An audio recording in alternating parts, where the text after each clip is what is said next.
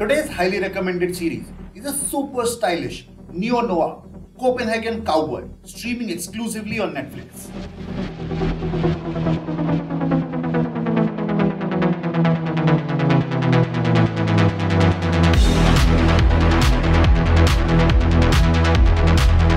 Now I do understand that I'm going to break my tradition of not recommending content that isn't completed yet.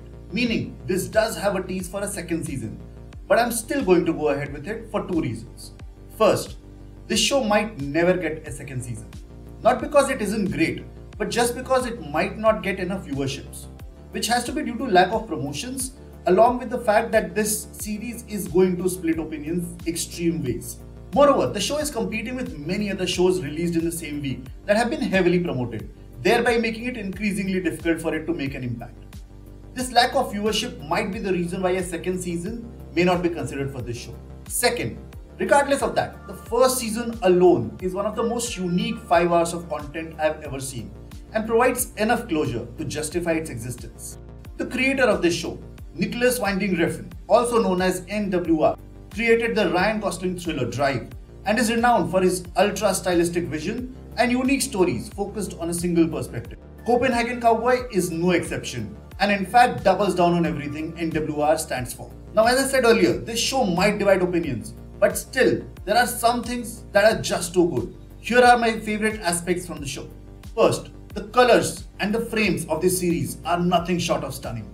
Every frame is like a dream sequence, each one more vibrant than the last and pushing the boundaries of your TV's color palette. Every color seems to pop out of the screen, helping us to enhance the emotions of the characters and bringing them to life. This film will truly test the limits of what your TV can really do. Second, the camera work is amazing in a surreal way. There are many long, uncut sequences where the camera rotates 360 degrees and you get a glimpse of a character while hearing them the rest of the time, building up your anxiety about what is happening. Most people use this technique once or twice for effect, but NWR makes it a theme. Though it might not be for everyone's liking, for a moody piece of content like this, it works exceptionally well. Third, the background music is absolutely amazing.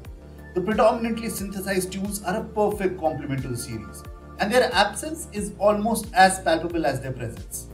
They create a mood that is hard to resist and allow viewers to become even more enthralled in the story as it unfolds. In addition, the music itself has a certain character and depth that allows it to enhance the narrative and become a part of the show itself.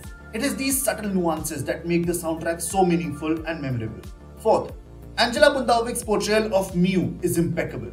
Her mysterious powers are initially perplexing, and her lack of dialogue can be frustrating. However, as the show progresses, her character is better understood, and her presence is felt even if her motives remain unclear. Angela's performance is highlighted by her gaze, which is so pristine that it is impossible to tell if she's scared or intimidating, thus elevating her character to the highest possible level.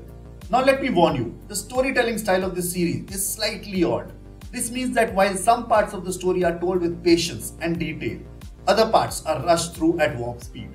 But don't let this fool you into thinking it is a mistake. This pace is intentional and allows you to understand the character's feelings and motivations with greater depth without wasting time on functional semantics.